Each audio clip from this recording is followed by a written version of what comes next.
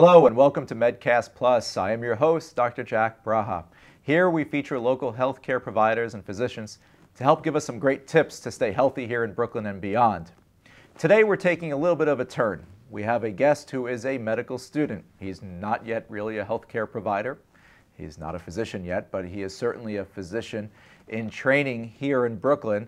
Uh, currently, uh, our guest, Mr. Max Cohen, or as we say in the hospital, student doctor Max Cohen is here. He is a student uh, here in Brooklyn at Brookdale Hospital, and we would like to have a different type of a show today where we focus on students who might be watching today or our young ones out there who might be interested in a career in medicine, not just becoming a doctor, but a nurse or other healthcare provider.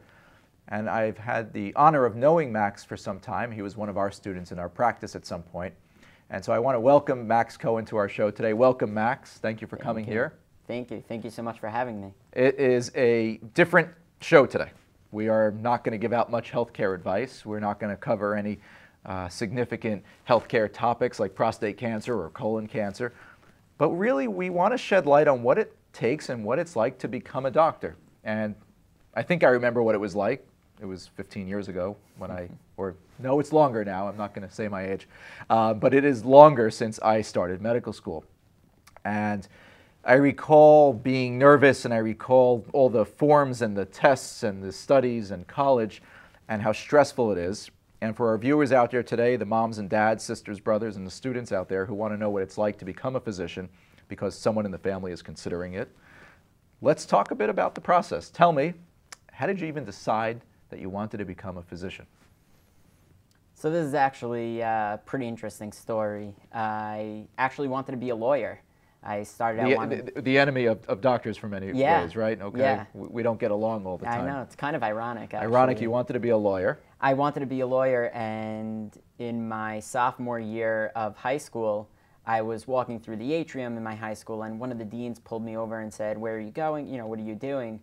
And I said, "Oh, you know, I don't have a class right now." So she said, "Well, there's a medical group. A few doctors are here speaking, and you know, why don't you go sit in?" So I said, "Okay." I mean, I don't, I don't even know what persuaded me to, but I went into that meeting. I heard some doctors speak. For the most part, I don't even remember what they said, but I just remembered the passion that they had, the passion that they had for helping others, the smile on their faces, talking about what they do. And that kind of spoke to me, and that led me into getting a volunteer position at Monmouth Hospital that following summer and shadowing a doctor there, and kind of got the, the ball rolling on things.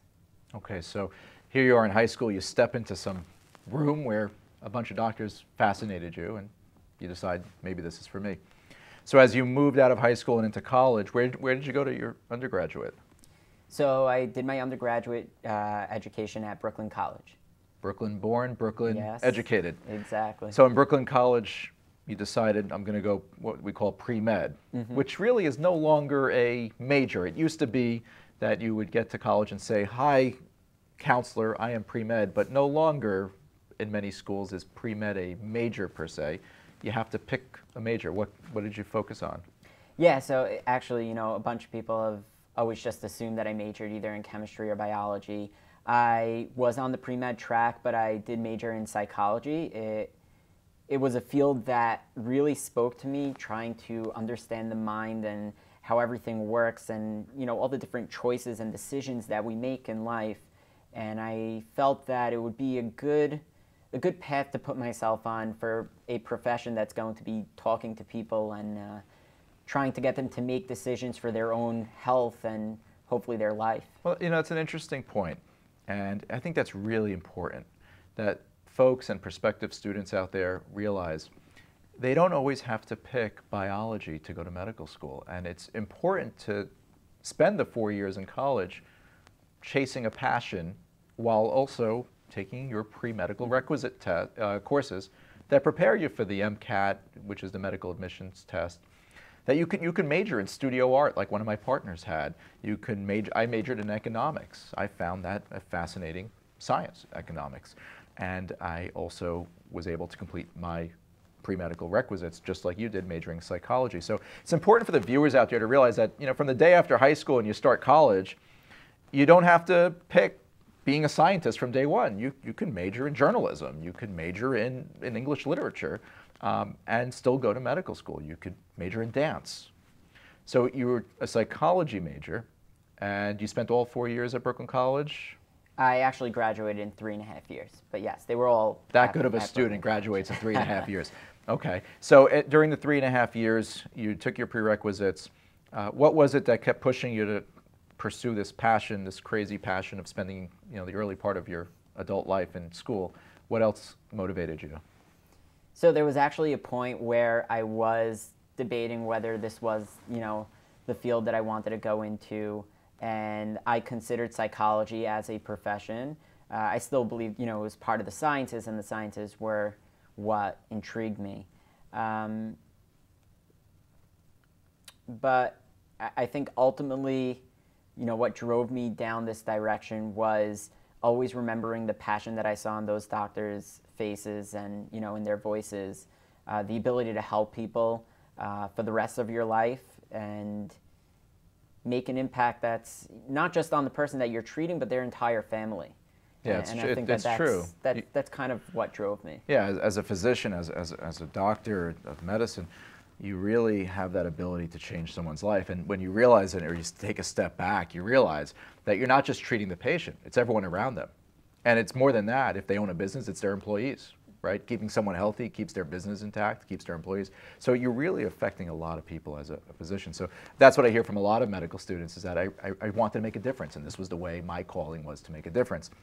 So in high school, you decided, you know, some people are told they're going to become a doctor, right? My mom apparently held me in the um, rocking chair and told me to become a plastic surgeon uh, from when I was just born. So uh, Well, that, you that was the only time I listened to my mom, possibly, but I'm not a plastic surgeon.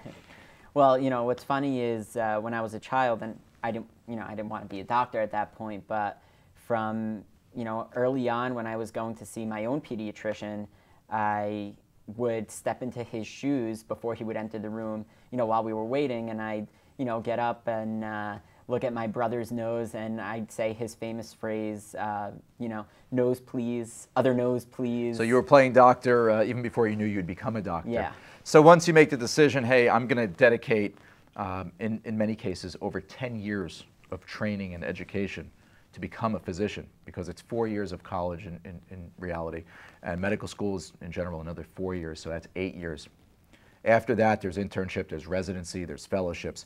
Um, in my case, I spent 14 years becoming a physician. Um, and I just tell people I- I started my career for life. Yes, and, and that's exactly the point I'm getting to is that this is not really a job. This is a lifestyle. This is a life. And for the viewers out there that are watching, when you decide, for the young ones especially, that, hey, I want to become a physician, uh, that's your life. It's not so much a job. It's a title. It's like being called Mr. or Mrs. It's doctor. It really is something serious. So in, in college now, as you get towards the end of college, you have to apply to medical school. And in general, that occurs after the third year or during um, the end of the third year early fourth year.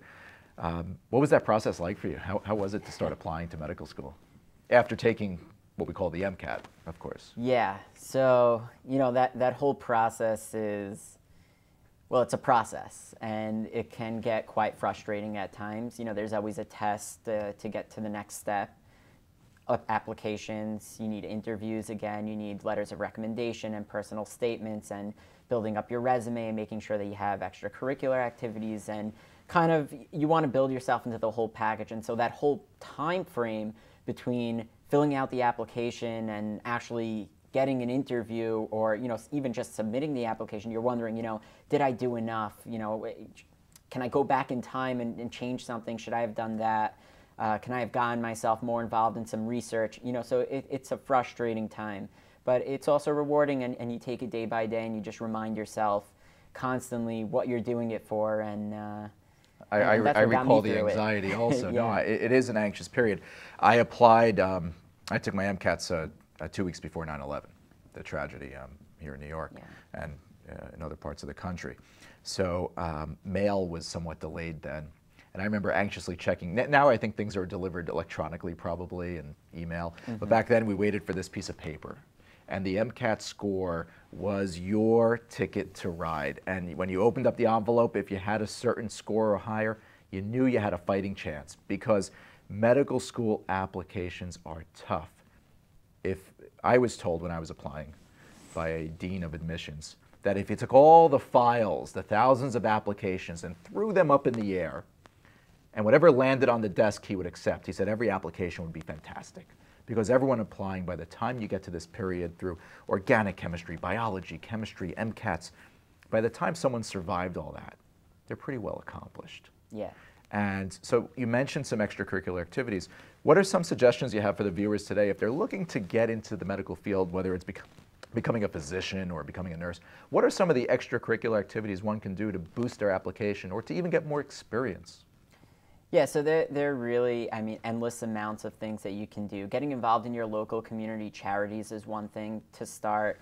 Uh, getting involved with uh, different organizations. Uh, for example, I spent a good deal amount of time with uh, children with special needs, uh, getting involved as a camp counselor, but then volunteering throughout the year as well, putting together events and uh, summer tournaments to raise money and fundraisers. But then also things that we don't usually think about, like directing a blood drive which really doesn't take too much of your time. You kind of, you know, blood blood centers are begging for blood constantly, and so all you really have to do is reach out to them, tell them, you know, I want to start a local blood drive in my community, and uh, those things go go a long way. And you know, if you if you get to do that a few times, it shows your commitment to something, and especially something that's uh, can save a life. Yeah, vo volunteering is important because you'll be giving back to society, in my opinion, your whole career as a physician okay? Your whole career as a physician, you are going to be doing something to contribute to society. It's not all about cashing a paycheck. And volunteering is important. Um, I, you know, during my high school years, I volunteered. Uh, funny, you mentioned Monmouth Medical Center in Long Branch, New Jersey, where I grew up. Um, a fabulous hospital on the shore where I volunteered a lot of time. And it was good because, number one, you got um, a free exposure, per se, a, a trial to see what it's like to work in a hospital, which is essentially um, what you will do the first many years of your career as a physician. And you got to give back a bit. And I think volunteering at a local hospital for our viewers out there in Brooklyn, we have a number of hospitals out there that if you make a phone call, they have a volunteer office at nearly every hospital out there. At our hospital, Mount Sinai Brooklyn, we have a, a volunteer program and we have many volunteers. Getting exposure while also giving back is important. It is important to give back to society. Um, it's not about take, take, take. It's about giving back. And as a physician, you learn that very, very early. Waking up in the middle of the night to run in and help somebody, leaving a wedding, leaving a dinner, leaving a date sometimes, leaving your kids to go and help someone in need. And so I'm happy you mentioned about giving back as a, a very good extracurricular activity, volunteering locally in the community here in Brooklyn. Uh, please, for the viewers out there, call local hospital and just start volunteering and helping out. It'd be a huge help to the hospitals. What about research? We talk about being a scientist, not just being a physician. Physicians are care providers, but also scientists. Um, getting into the lab or, or research is important too. You would say some advice to some of our viewers? Yeah, so you know, there's there's a trend right now, you know, as as per medical students, but even even just as a pre med, uh, in college, there, there's this trend that you need research, you need research, you need research. And, you know, I do have a bunch of friends who are in medical school who had no research. I myself didn't do too much research myself, but, you know, I did try and, you know, make the, make the um, uh, effort to really get myself involved in some of the research while I was still in Brooklyn College. So I got close with the chair of the biology department and did some research with him. And then moving on into medical school, I also was looking towards research. It's, I mean, besides for it being something that's helpful to put down on your resume, it also teaches you, you know, a little bit of humility, a little bit of some of the monotonous work that gets done behind the scenes, especially for uh, for drug companies, um, and and just the the small little details that are involved.